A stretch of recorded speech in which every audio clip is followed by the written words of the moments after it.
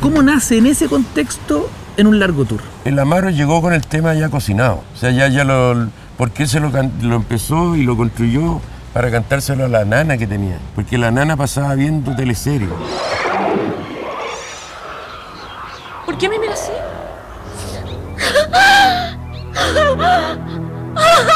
Yo de lo que recuerdo es que el Amaro estaba muy, muy impactado con eso, estaba muy, muy- y, y empezó a cantar esa, es, empezó a cantar como ese tour. Entonces el- el- la casa era como un, un espacio donde el único, eh, el- lo único que podíamos mirar era la televisión.